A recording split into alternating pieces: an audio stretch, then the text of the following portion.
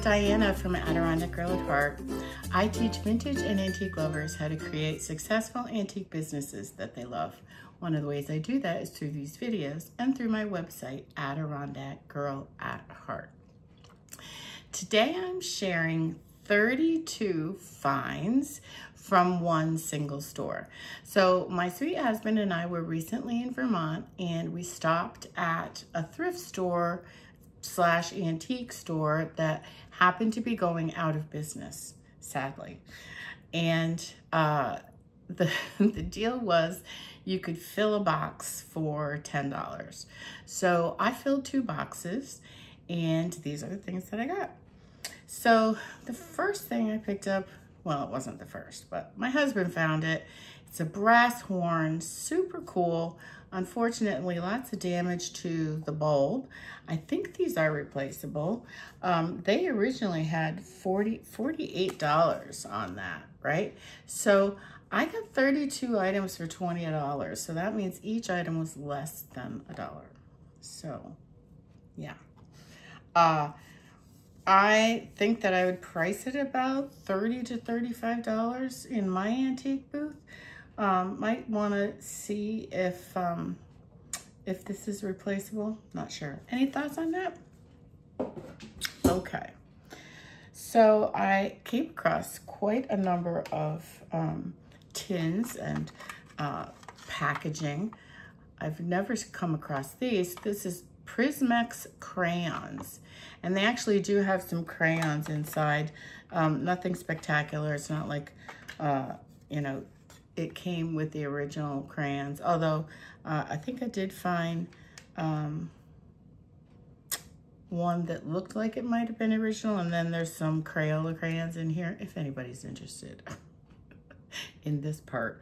Anyway, so I think these are worth about $10 each, maybe more because they're, they're uncommon, right? I do have an article on my website all about tins, so you might want to check that out. I'll link to it below. Here is a box of Crayola crayons in an older box, maybe 1940s or so, and it does have uh, a full set of crayons in there with the older labels on the crayons, and I haven't sold any of these in a long time, but I'm going to say because the box is in really good shape and um, it's got the crayons, I'm going to say also maybe $10 on that. And then here's another box. So this is really from like the 1910s or the 1920s. Just a very, very, very cool box. And inside it has pencils. So it says crayons, but it's really um, colored pencils.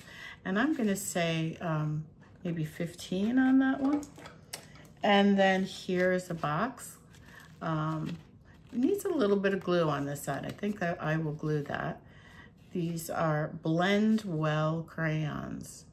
I just thought this was so interesting, the different brands of crayons that have been available through the years. So maybe, you know, $10 on that one too. And then here is a, um, this is a, I think it's a candle.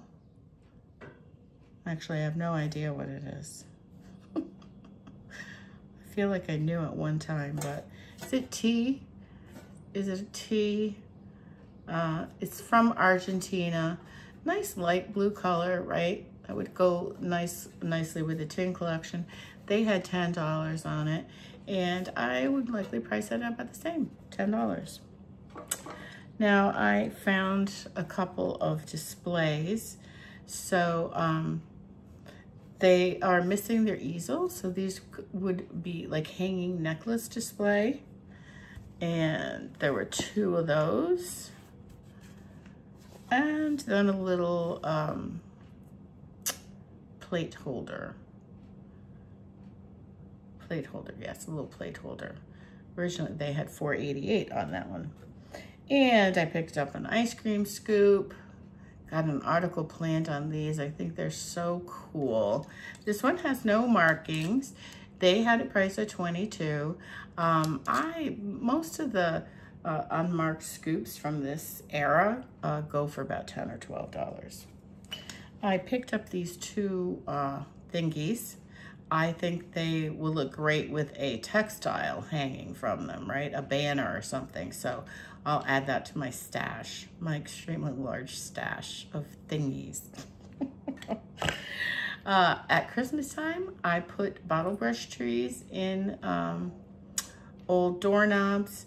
I will wax these a little with my um, my wood salve to uh, clean them up and to make them look a little bit better.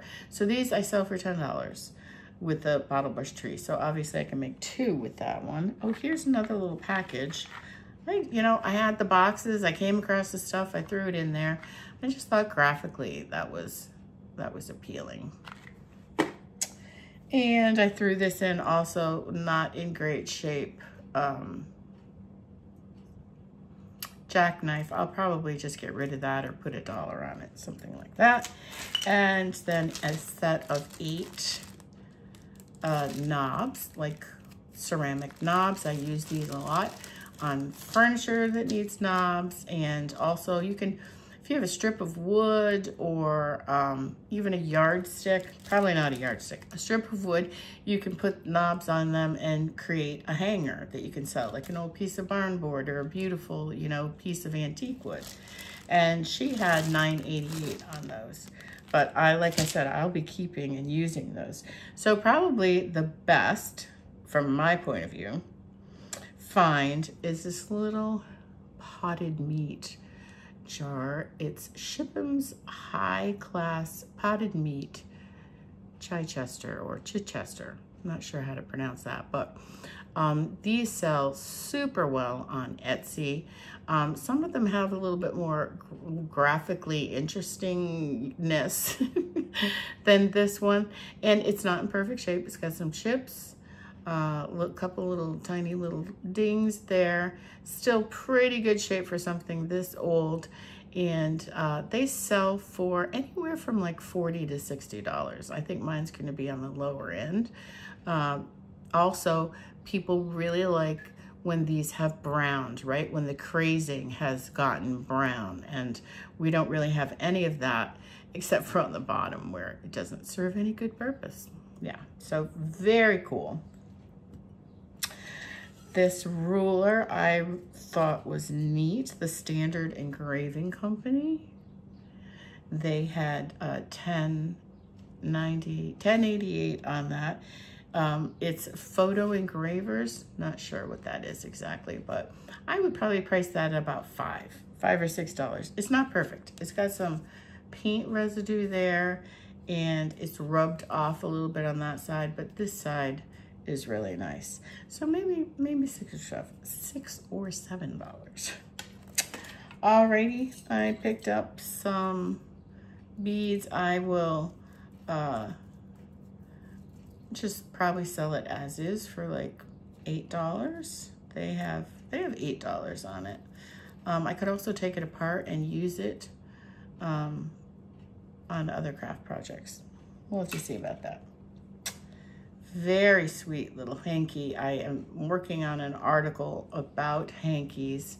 So it's got some pulled work here, right? We and uh, some embroidery and then the tatted lace, really sweet. They had a dollar twenty-two on it. It's not in great shape. It's got some like browning uh, on, on it, browning. So that's probably why the low price. Picked up a couple of bottles. This one is Hood's Compound Extract Sarsaparilla. So it's got embossing on the front. The side it says New York, St. Louis. New York, St. Louis. And the other side says uh, CI or GI, CI Hood and Co. Right there. Just a really, just a really nice, nice bottle. In good shape, no chips. It's got some uh, cloudiness that it would be hard to, if impossible, to remove. They had $26 on it. I would probably put 10, 10 or 12. And then this one I really, really liked. And I would have liked to try to work on the cloudiness, but I can't get the top off. A little rusty top. And this was also 1866. 18, Oh, no, not also. This one was 1866. Nice shape, but that cloudiness is a bother, is bothersome. So about 10, 8 or $10, I would say. Okay, I keep hitting this thing here. I'm going to show you. Get it out of the way. So this is an ornament display. She had $31.95 on it. So I'm going to use this at Christmas time to display ornaments. And I picked up these four at the same sale. So a little wooden ornament, I will use that for um, creating Christmas decorations that I sell at a Christmas craft show. Same with this little antique looking Santa. And then this is pretty. This is like a little uh, etched mirror. Probably priced that about $6 to sell. And then my son's nickname is Grizz or Grizzly. So he gets a lot of bear stuff. Whenever I come across it, I pick it up. So um, that will be in his stocking this Christmas. So that will be very useful at Christmas time, right? Okay, so are you familiar with pyrography? I don't know if I'm saying that right. Pyrography, pyrography. so that was a craft in Victorian times where you took a, a heated uh, tool and you would trace these designs and it would uh, burn. It was a, like a burner. It would burn into these lines and you'd have this little piece of artwork. So um, I do would like to write an article about them some that that process someday. So I picked I just threw these into one of my boxes so that I will have examples of what the craft looked like before it was worked on, right? So gonna store those somewhere where I'll remember. and a, um, this is not, I thought it was a coloring book at first, but it's not. It's a pad of paper. So, uh, with some kind of cartoon. It says Walter Lantz Productions. Walter Lantz um, characters. So this is like a 1940s-ish uh, time period, I would say. And I have other um, booklets and um, paper items like this that I think I will collect together and sell as a lot on Etsy. Journal uh, makers, scrapbookers, like love things like this. So that's my plan for that. And okay, so my last find, let me just check. Yes, my last find from that thrift store. So remember, 32 items for $20 is uh, this. This is another craft. So it's sampler cards. This is an example of a paper punch craft. So just a few, recently I wrote a whole article about perforated paper punch, German paper punch. It goes by several different names. Um, but this is a kit for young people, young girls probably. And it came with these cards ready to basically you're embroidering on them right? So there's a sampler. There's some strawberries, very pretty floral. And here's a bird. And then here's a fish. This was meant to be a bookmark. So this one is completed. I don't know if you can see that, oh, that, that it's already been done. You can see on the back the, the threads there. So um, this is going to be great to add to that article, examples of crafting, paper punch crafting. And then it came also with um, the embroidery thread to complete the project. So I just think this is fascinating. I hope you find it fascinating as well. I hope you have a great day. And as always, happy hunting.